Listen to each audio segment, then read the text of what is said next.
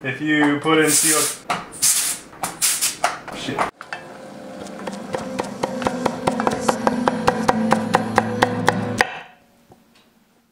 Good morning, not evening. Uh, it's breakfast time. So there are like breakfast alcohol drinks. Like who drinks alcohol in the morning? You do. So we we're making breakfast. It's the morning. Gotta make a drink. So we're gonna have mimosas, and mimosas are 50% or so orange juice and 50% or so uh, champagne. But we are men of humble means, so we don't have any champagne. And when you don't have champagne, you can make your own. So we've got this bottle of white wine that has been opened for like five or six days. It's a Riesling. That's nice. We need to carbonate it. Okay, so how do you carbonate things? If you're pretentious and somewhat of a hipster or just have too much free time, you built your own home carbonator. Yeah. So we have here an empty two liter of Diet Pepsi caffeine free. We're gonna take our fine, almost champagne and pour it in. This is a delicate process. And a little bit for me.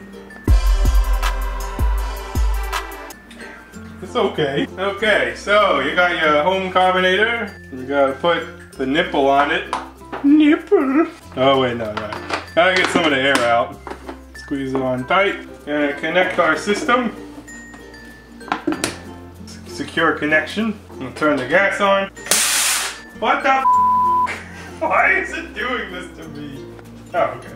So I'm at about 55 PSI. Champagne is like 80, but my system can't handle any more than what I've cranked it up to. Okay, so we've got the gas on. We'll start filling.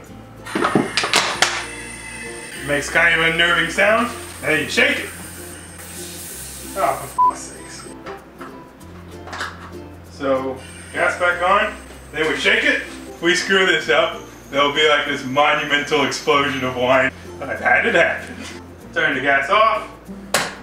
Remove. We let it settle down. So it's pressurized. Try to make that CO2 dissolve as much as possible. If you put in CO2, shit.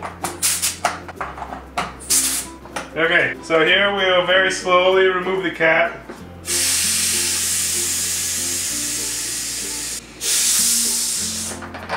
Okay, and then we got the CO2 coming out. Gonna repeat that process. We want a little fizz. I'm just doing, I'm just doing the exact same thing again. You do it too fast, it goes flying up. Okay, been waiting for this moment.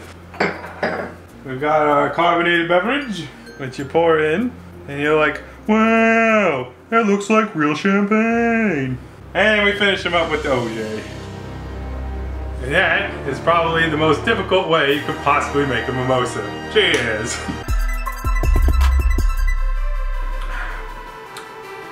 Could be more carbonated.